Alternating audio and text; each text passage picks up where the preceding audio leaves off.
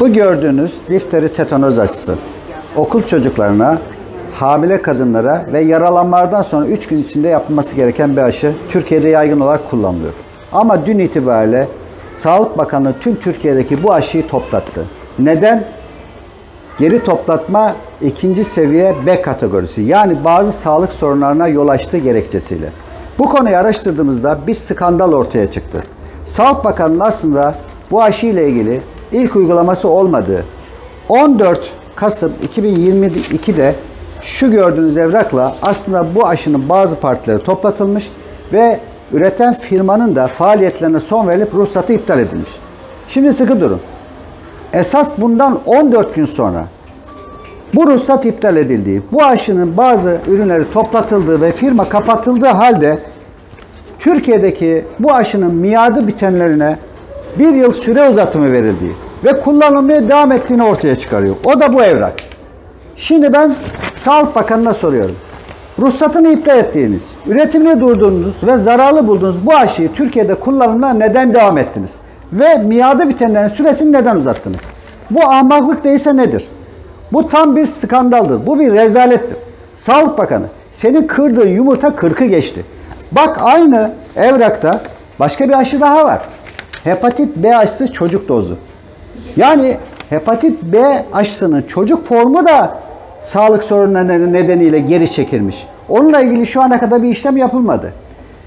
14 Kasım 2022'den bugüne kadar ne kadar insanımıza difteri tetanoz aşısı ve hepatit B aşısı çocuklarımıza yaptınız?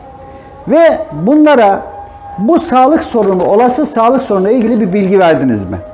Ve esas bundan sonra tetanoz aşısı gerektiğinde, hepatit aşısı gerektiğinde neyi yapacaksınız? Çünkü biz biliyoruz ki Türkiye'de şu anda bu ithal aşılar yok. Sizin fiyat politikanız yüzünden. Şu anda bir yaralanma olsa 3 gün içerisinde tetanoz aşısı yapmanız lazım. Elinizde aşı var mı? Yok. Gebelere aşınız var mı? Yok. Okul çocuklarına aşınız var mı? Yok. Çünkü elinizdeki aşının bu yerli firma reklamını yaptınız. 2020'de güvenlik testlerinden geçti. Çok güzel, faydalı bir aşı diye takdim ettiğiniz aşının maalesef getirdiğiniz nokta bu. Bununla da kalmadı. Göreceksiniz önümüzdeki günlerde pandemide kullanılan Biontech aşısıyla ilgili bazı gerçekler ortaya çıkacak.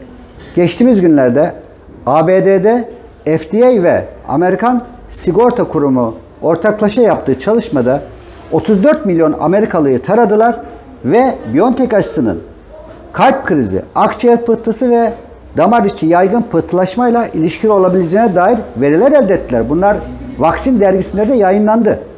Şimdi elin Amerikalısı kendi firmasının ürettiği aşıyla ilgili bazı çalışmalar yapıp zararlarını ortaya koymaya çalışıyor. Bizim Sağlık Bakanı ne yapıyor? Bu konudaki verileri saklıyor.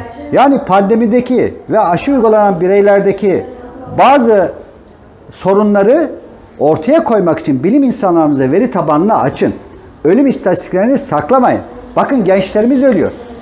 Hiç sağlık sorunu olmayan insanlar kalp krizinden erken yaşlarda beklenmeyen zamanlarda vefat ediyor. O yüzden bunların veri tabanını da açıklayın. Siz de açıklamazsanız biz önümüzdeki günlerde bu konuyu da konuşacağız.